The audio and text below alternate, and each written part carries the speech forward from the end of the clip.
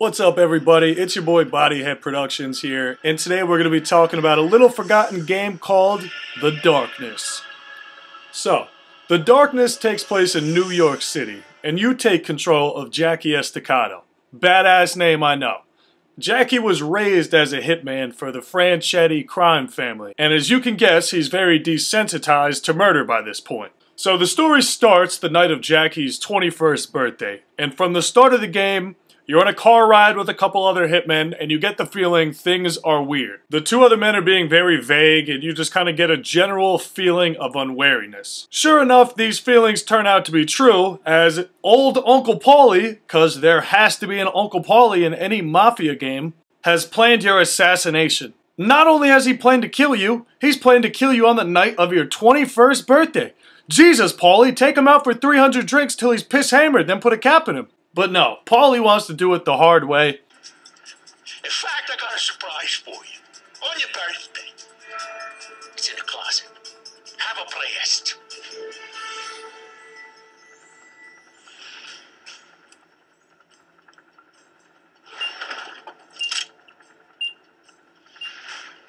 And during a scuffle of gun smoke, the darkness takes over.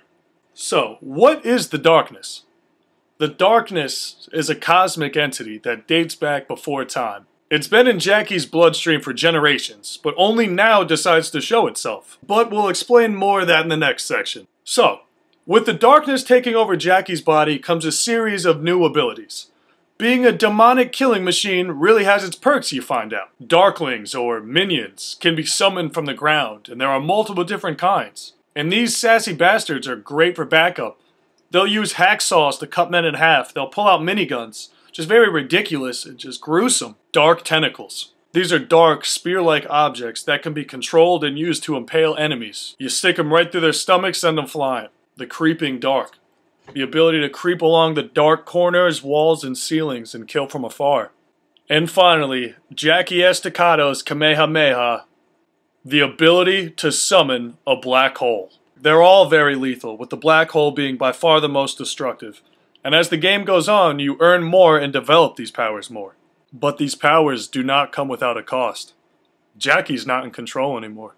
So the real question is, why does Jackie get these powers and why now? So to have these superpowers, or super curse depending on how you look at it, activate at the time of your soon-to-be assassination, really couldn't have worked out better. But as we learn throughout the game, maybe Jackie would rather be dead than deal with this demon inside of him.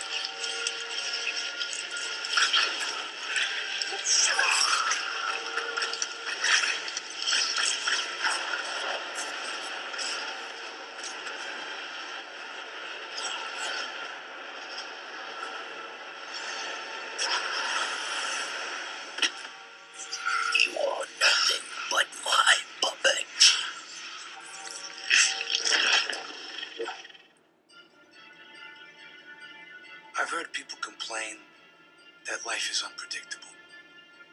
Well, I never had a life that was predictable. But what happened to me today? That's why I need you, Jenny.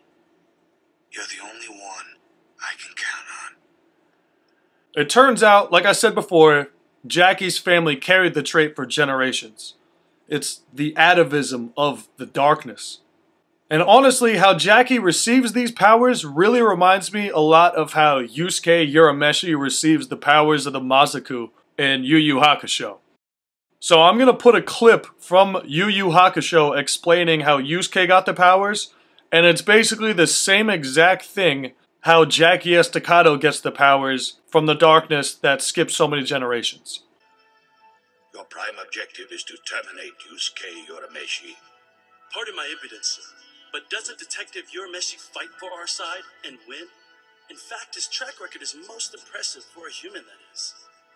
No, but that's where you are wrong. He has the half breed's blood coursing through his veins. A real half breed? Hell. That is a vile accusation. And to level it in front of his corpse? It's ridiculous! His mother may act like a monster, but his parents are human. I had an ogre do a background check. True, as were his grandparents and great grandparents. But if you continue back much further.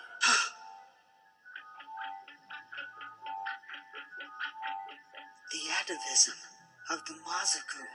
That's affirmative, sir. It's through that rare phenomena that we think your Urameshi inherited his demon blood. And if we're right, which by all signs we are, he's a genetic time bomb just waiting to trigger. DNA, the blueprint for life, passed from parent to child.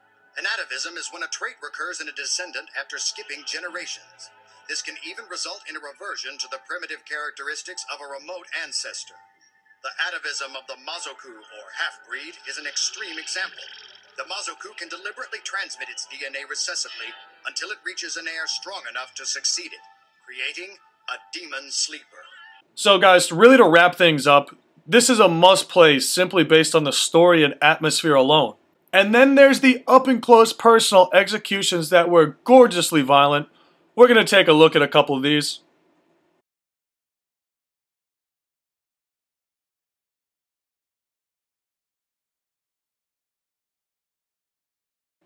Oh, yeah.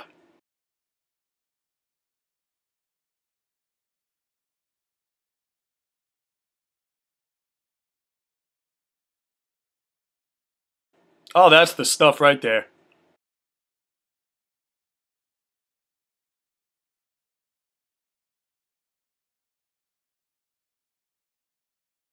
All right.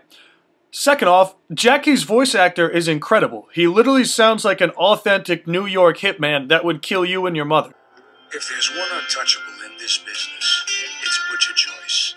You put out a hit on some guy, Butcher flushes his body. No one's ever the wiser. Butcher knows everyone's business. But what keeps him alive is that he never ever chooses a side. Yeah. Too bad there's a war. And at this time, the graphics were incredible. I still remember seeing the trailer for this game that had a Marilyn Manson song in it, Crucifixion in Space, and thinking, oh my god, this game might look better than Gears of War. And this is back in, uh, I believe, 2007. And then we get to my favorite part of the game, the level design. Now, a lot of the early game will feel like you're in the subway a lot and just roaming New York City. But as the game progresses, you go to one of the coolest levels I've ever seen of any game ever. When you go to literal hell. But it's a whole new ballpark. It's not just some ground of fire or some Dante's Inferno depiction. It's the trenches of World War I. The four horsemen are roaming the battlefield.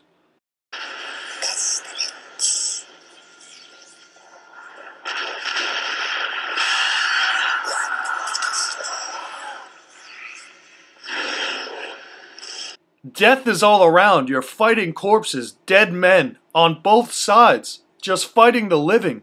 The depiction is so amazing and so dark. It's crazy to think that a lot of our ancestors fought in this war. But all those emotions right there, that is the perfect theme for this game.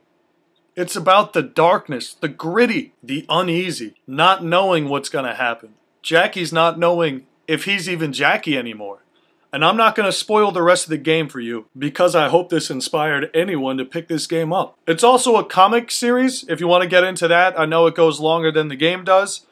The game also had a sequel, so if you play it, you like it, there's going to be a, there's a Darkness 2 you could jump right into. And also, one of my favorite shows of all time, Yu Yu Hakusho, the clip up before. Great show, fully recommend that as well. Guys, this has been Bodyhead Productions and a small mini-series of the Forgotten Video Game Vault, where I'll be bringing games right to your computer that you might never have heard of. So, make sure you don't miss out on anything. Like the video, subscribe, hit that bell, guys, because you know I'm going to bring another one to you guys soon. Alright, everybody, body head out of here.